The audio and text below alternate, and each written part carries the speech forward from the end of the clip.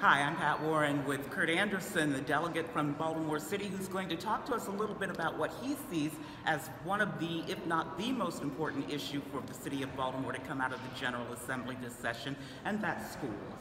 Absolutely. Schools are always, and education is probably uh, on everybody's mind, everybody's top of everybody's list of priorities.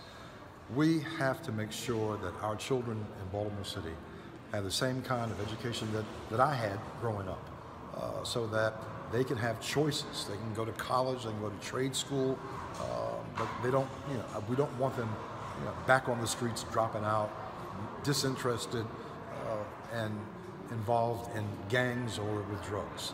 Uh, having good schools that are heated well, that are air conditioned well, uh, that are built to 21st century standards is the most important thing. These kids should have the same choice that you and I had growing up. And uh, some of them don't.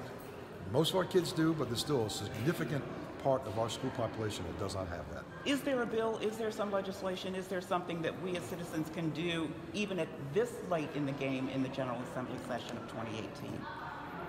Four or five years ago, we passed phase one of the 21st century school plan. That meant building, uh, I think we building between 15 and 20 brand new schools in Baltimore City. What we're trying to do this year is complete phase one.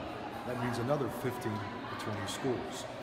That information, that uh, that funding is going to be part of uh, a budget request uh, that will mean that Baltimore City is going to have to come up with some money to help uh, fund the, uh, you know, the debt service for it, as well as the state of Maryland. So if, if, if you do just what I'm doing right now, saying that education is the most important thing on your list of priorities, and is always on your lips, and that's what helps us the most. Thank you, Curt.